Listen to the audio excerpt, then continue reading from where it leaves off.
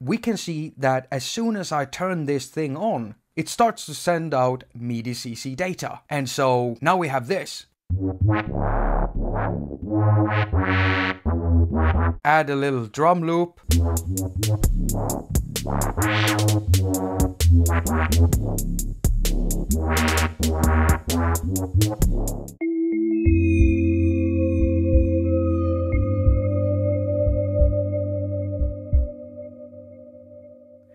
And welcome to Hack Attack. My name is Jakob Haq, I'm your host, and you're watching a Hack Attack episode. This is KRFT by Studio Amplify, and we now have MIDI out. That's right, every cell you see in this surface is just sending out MIDI note data and MIDI CC data to Korg Gadget. Check this out.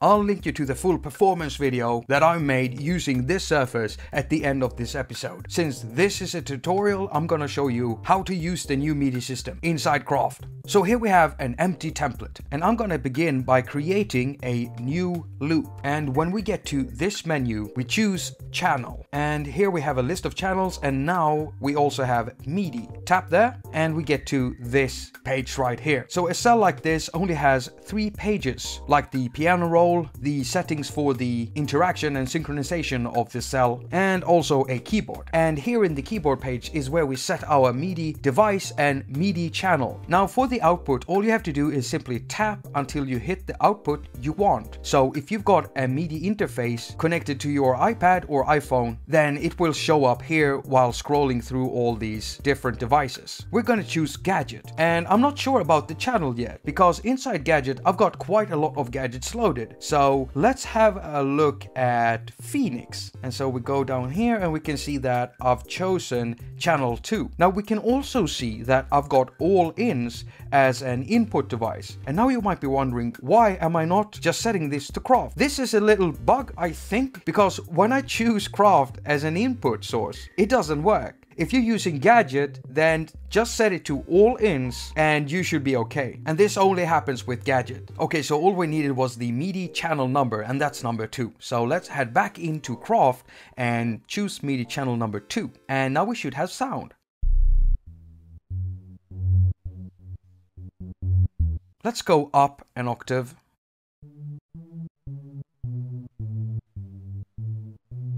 Nice. And that's how simple it is. Now, we also have more controlling elements, because right now we're only using MIDI note data, but we can also use MIDI CC data to control stuff inside the gadgets themselves or any other synthesizer that you might want to use with KRFT. So the elements we have to work with are dials and morph cells. And the morph cells are really cool because they can work as modulation sources too, instead of just being used as switches. More about that in a bit. So let's just choose the dial for now, and we get to this select channel menu again. Now all we have to do is to assign it to this one that says gadget 2 and that's MIDI channel 2. Press there and we have this page. Now if we look up here we can see that we have the CC data menu and so we can either tap through them like this or we can open up a list. All we have to do now is to find out what CC data controls what and so inside gadget at least we do have a list so we head into Phoenix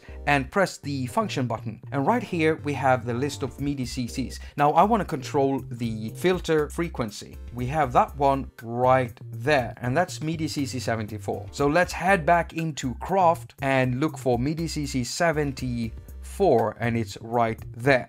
Let's press OK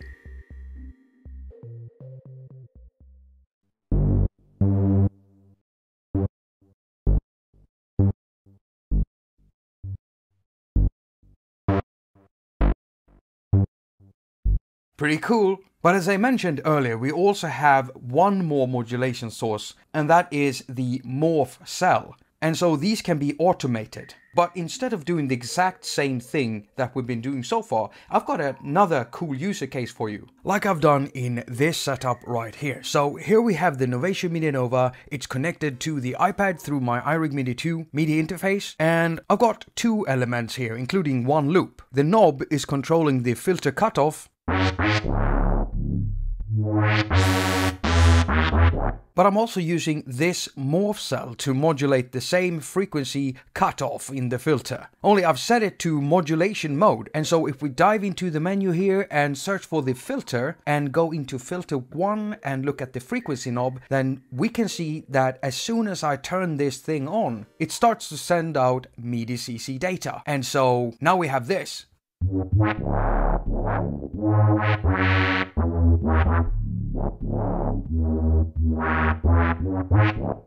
Add a little drum loop.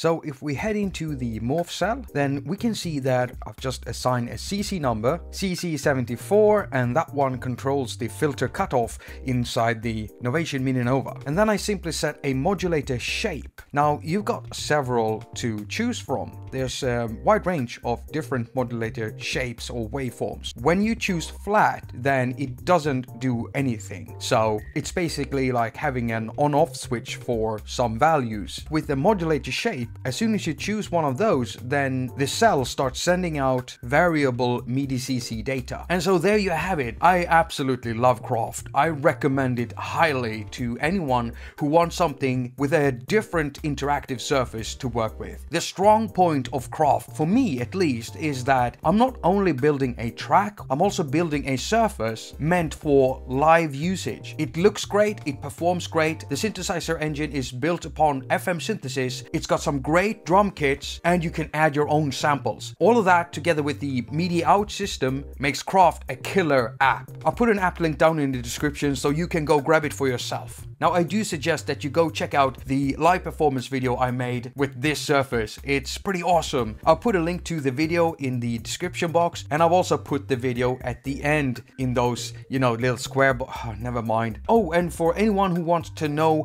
what's inside these cells and how I built all of this and what's controlling what, how many layers I've got in here, I'm gonna do a live stream as I did with the last KRFT surface I made in where I go through each and every one of the cells and tell you about my thought process and, and all of that good stuff. So stay tuned for an announcement in where I uh, announce the date and time for the live stream. Thank you so much for watching. All comments and ratings are very much appreciated. I've also got a Patreon uh, page, so if you want to support creativity and if you find value in the content I produce, then why not join up on Patreon? Now, if that isn't your cup of tea, then I've also got a, a PayPal me link down in the description. You can find it and you can also see it up here.